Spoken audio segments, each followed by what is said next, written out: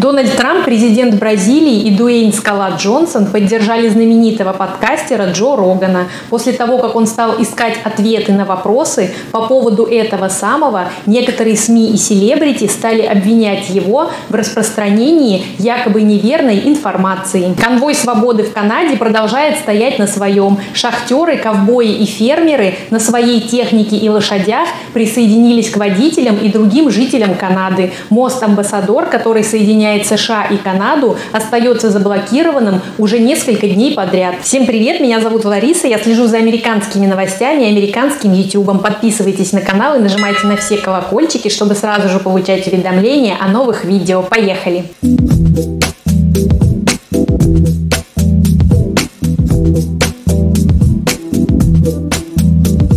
Конвой свободы продолжает стоять на своем и требовать отмены всех ограничений и спецпропусков в Канаде. Шахтеры, ковбои и фермеры на своей технике и лошадях присоединились к водителям и остальным жителям Канады. Протесты поддерживают невероятное количество людей по всему миру. Дальнобойщики обосновались у здания парламента в столице Канады Оттаве с 29 января и не собираются уезжать, пока их требования не будут выполнены. Жители Квебека и Торонто, также объединившись, вышли к зданиям парламента, чтобы требовать отмены ограничений и спецпропусков. Полиция пытается изъять у водителей канистры с бензином, чтобы те не смогли прогревать свои грузовики и поскорее уехали. Но жители Канады и дальнобойщики продолжают стоять на своем. Напомню, что канадский конвой свободы поддержали Дональд Трамп, его сын Дональд Трамп Джуниор, ведущий самого знаменитого подкаста в мире Джо Роган, губернатор свободной Флориды Рон Десантис,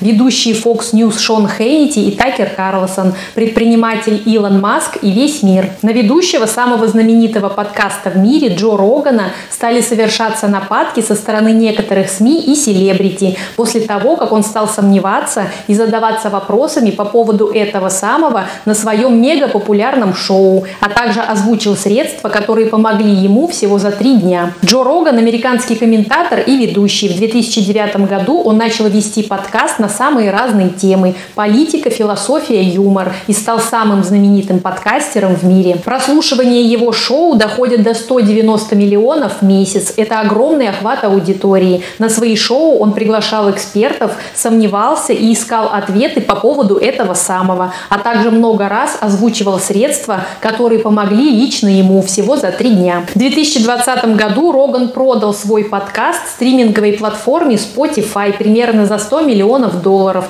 Это платформа для прослушивания аудиокниг, музыки и подкастов. Некоторые СМИ стали обвинять Джо Рогана в распространении якобы неверной информации и требовать исключить его подкаст из Spotify. Так, например, его обвинили в распространении такой информации Гарри и его жена, а политическая активистка и сторонница Трампа Кэндис Оуэнс написала, в действительности ни одну страну в мире не интересует, что думают Гарри и Меган. Директор Spotify поддержал Рогана. Я не считаю, что заставить кого-то замолчать – это ответ. Сам Роган ответил на нападки. У меня проблемы с термином дезинформация. Совсем недавно многие вещи считались дезинформацией, а сейчас они являются фактами. Джо Рогана поддержал также знаменитый голливудский актер Дуэйн Скала Джонсон. Отличная работа, надеюсь, мы скоро встретимся и выпьем текила, написал он. Президент Бразилии Жаир Болсонару написал, если свобода значит что-нибудь, тогда люди должны говорить то, что они думают.